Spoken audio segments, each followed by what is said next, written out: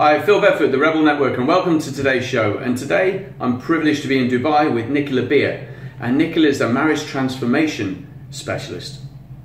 Now, you might be thinking, why on a, a business and life development show we having this subject? Now, interestingly enough, statistics say that one of the main reasons businesses fail is because the pressure on the home life impacting the business and the relationship. So I thought it'd be a brilliant opportunity to get some tips from an expert on how we can actually support each other as a family while we're chasing for the dream of our own business. So, Nicola, welcome to the show. Great, thank you, Phil. Thanks for having me here.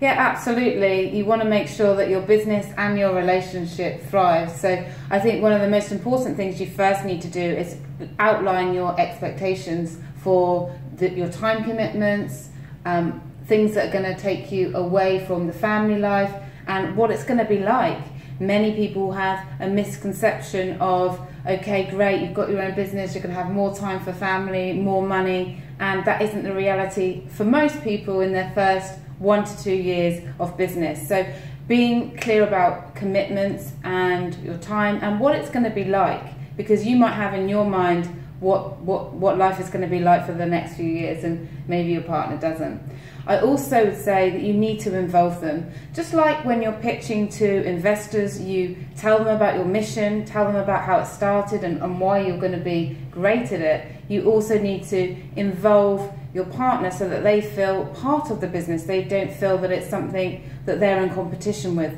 because that can cause mm. a, a lot of hostility. And the last thing I think that I found really useful is sharing your calendar and making sure that you diarise time in for your partner, time in for family, time in for lions, because if you're not going to put them in your calendar, I mean, I follow my calendar very religiously, if you don't put them in there, then everything else comes in, and the family can sometimes be last, the relationship can be last, and that's what causes a, a lot of frustration.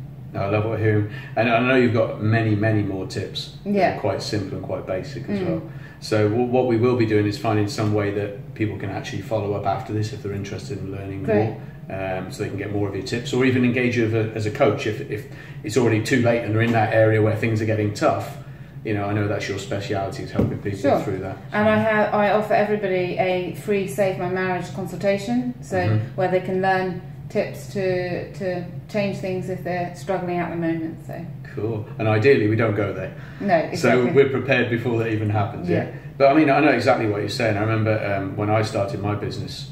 Um, you know, my wife was kind of, you know, so why are you doing this? And shouldn't you be a millionaire? You've been in business for a month. and yeah. uh, it, it wasn't until we actually sat down and I explained what how I spent my days and you know what the whole business was that it was like, oh, get it now. Okay, okay, right. And but we had to have that conversation. So yeah, I, am sure there's lots of benefits for people out there of what you're doing, Nicola. Great, yeah. Well, it's a it's a pleasure, and I think the most important thing is just to just like you want to give your business attention, make sure to give your partner attention because neglect is one of the the, the huge things that leaves things to to, to have problems. So, Nicola, thanks yeah. so much for your Thank tips. You. Thanks for being on the show. Thanks. We're gonna have Great a cup of tea. Yeah, we're gonna have a nice cup of tea now.